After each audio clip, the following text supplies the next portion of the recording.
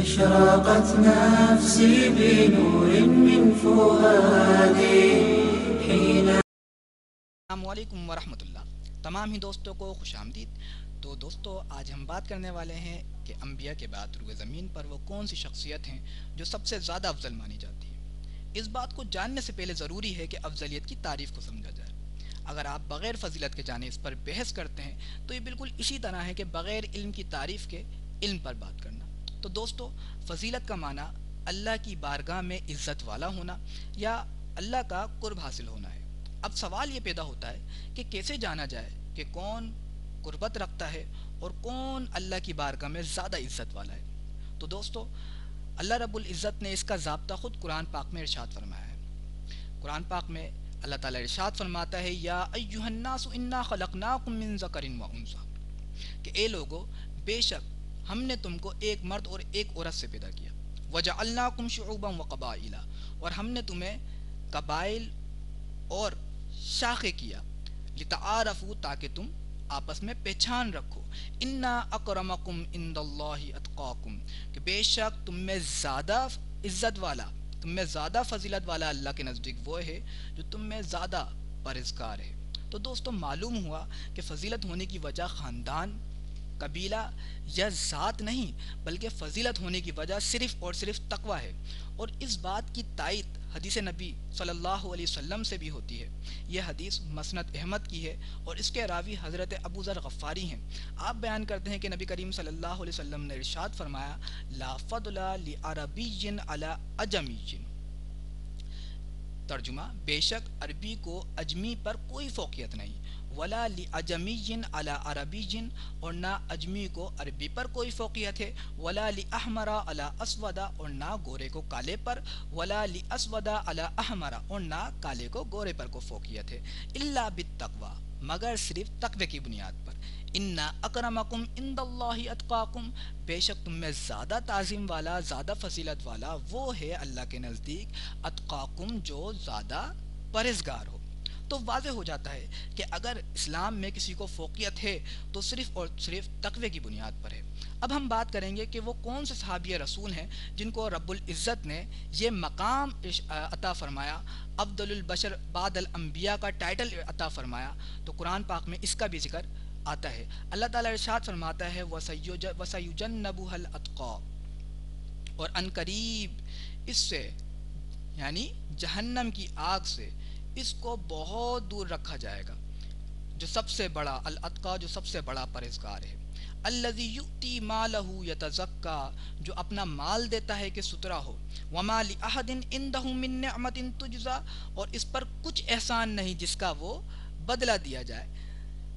इल्लब्तिगा आला, सिर्फ़ अपने रब की रज़ा चाहता है, जो सबसे बड़ा बुलंद है, और बेशक करीब है कि वो राज़ी हो जाए। वला सऊफ़ा तो दोस्तों, पीछे हमने जाना कि फजीलत सिर्फ़ और सिर्फ़ तकवे की बुनियाद पर है। और इस आयत में अल्लाह रब्बुल इज़्ज़त ने अपने बंदा ख़ास का ज़िक्र फरमाया, जो अम्बिया के बाद सबसे अफजल हैं, जो सबसे बड़े मुत्तकी हैं। अल्लाह ताला ने एक वर्ड इस्तेमाल किया अलअत का जो सबसे बड़ा मुत्तकी है। तो दोस्तों, जान लें कि इसका मजदक और इस आयत में जिन हस्ती का ज़िक्र किया गया है, वो और कोई नहीं, वो हज़रत अबू बकर सिद्दीक रदी अल्लाह तु इमाम अहमद रज़ा ख़ान फरमाते हैं अजमाफसरून मिन अहल सुन्ना वल अला इन आयता नज़लत सिद्दीक। तर्जुमा, अहल सुन्नत वल के मुफसरीन का इस पर, इस बात पर इजमा है कि यह आयत सिद्दीक अकबर के हक में उतरी और अल से मुराद वही है। दोस्तों, जब हम ये बात करते हैं कि इस आयत से मुराद हज़रत अबू बकर सिद्दीक हैं तो इस पर एक एतराज़ होता है। जब हम ये कहते हैं कि इसका मजदक जो है हज़रत अबू बकर सिद्दीक हैं, इस पर यह एतराज़ होता है कि इस आयत से मुराद मौला अली भी तो हो सकते हैं। जैसा कि शिया मकतब फ़िक्र का ये नज़रियात हैं कि इस आयत से मुराद मौला अली हैं। यह आयत मौला अली की शान में नाजिल हुई। और कुछ हजरात जो है, ये व्यूज़ भी रखते हैं कि ये जो है, हज़रत उमर फ़ारूक की शान में नाजिल हुई। इससे हज़रत उमर फ़ारूक मुराद हैं और अब्दुलबशर जो हैं, बादल अम्बिया हज़रत उमर फ़ारूक हैं। और कुछ हजरात ये भी नज़रिया रखते हैं कि हज़ूर के चचा हज़रत अब्बास इससे मुराद हैं। यानी वो सबसे अफजल जो हैं, बादल अम्बिया हज़रत अब्बास हैं। लेकिन मैं बताना चाहूँगा, ये जो तीन एतराज़ होते हैं कि इस आयत या तो हज़रत अली मुराद हैं, या हज़रत उमर फ़ारूक मुराद हैं, या हज़रत अब्बास मुराद हैं। अगर हम दो हस्तियों का ज़िक्र करें, हज़रत उमर फ़ारूक और हज़रत अब्बास का तो दोस्तों मैं बताना चाहूँगा कि हज़रत उमर फ़ारूक और हज़रत अब्बास पर अगर ये आयत महमूल की जाए तो ये दोनों हजरात नज़ुल आयत के वक्त इस्लाम नहीं लाए थे। तो इन दो हजरात के बारे में तो बात नहीं करेंगे। रही मौला अली की बात तो अगर आप ये आयत महमूल करते हैं मौला अली पर, मौला अली मुश्किल कुशा पर तो ये मुमकिन नहीं कि रबाल ने सबसे बड़े मुत्तकी की जो सिफत बयान फरमाई है, वहाँ पर फरमाया है, वमा इंदहू यानी जिस पर किसी का कुछ एहसान नहीं, जिसका बदला दिया जाए। और जबकि ये सिफत मौला अली पर सादिक नहीं आती है कि वो हुजूर की तरबियत में थे, कि नबी ने अली को उनके वालिद से ले लिया था और हुजूर ने उनको खिलाया, पिलाया और पाला। तो हुजूर अली के मोहसिन हुए। इनके एहसान का बदला वाजिब है और नेमत कुबरा की तकमील जब हुई, जब हज़रत बतूल जहरा सलावातुल्लाह अबी हल करीम वालिहा से शादी हुई तो नेमतुल कुबरा की तकमील हुई। तो हज़रत अली जो है इसके मजदक होना मुमकिन नहीं क्योंकि उन पर यह आयत ये सिफत जो है मामूल नहीं होती।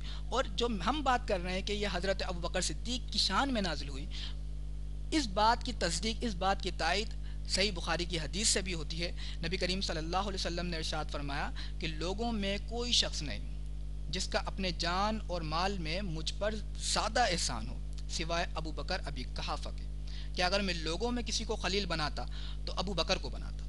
इसी तरह एक और रिवायत तिरमिज़ी की मिलती है, इसके रावी हज़रत अबू हुरेरा हैं। आप फरमाते हैं कि नबी करीम सल्लल्लाहु अलैहि वसल्लम ने इरशाद फरमाया, हर शख्स के, हर शख्स के एहसान का बदला हमने उसे दे दिया, सिवाय अबू बकर के, कि उनका हम पर वो एहसान है जिसका बदला अल्लाह उन्हें क़यामत के दिन देगा। तो दोस्तों, साबित हुआ कि अल्लाह ताला ने अल जो ज़िक्र फरमाया है जो जिस हस्ती का ज़िक्र फरमाया है, वो और कोई नहीं, वो हज़रत अबू बकर सिद्दीक हैं। यह आयत सिर्फ़ और सिर्फ़ हज़रत अबू बकर सिद्दीक की शान में ही नाजिल हुई है। जैसा कि बास और अक्सर मुफसरीन तफसर बगवी इसी तरह इज़ालतुल्खिफ़ा अन खिलाफ़तुल्खुलाफ़ा असवाइकुलमहर्रिका मफाहिद मफातिहुल मफातुलगैब जो इमाम राज़ी की किताब है। इसी तरह और भी बहुत सारी कुतुब हदीस में ये मौजूद है कि जब हज़रत बिलाल और उनकी आज़ादी का वाक़ ज़िक्र हुआ मक्का में और मुशरकिन मक्का ने यह बात कही कि अबू बकर पर बिलाल का कोई एहसान है तो यह आयत नाजिल हुई वमाली अहदिन इंदमिन तुजसा तो दोस्तों साबित हुआ कि अफजलबशर बादल अम्बिया और कोई नहीं सिर्फ़ और सिर्फ़ हज़रत अबू बकर सिद्दीक की ज़ात है।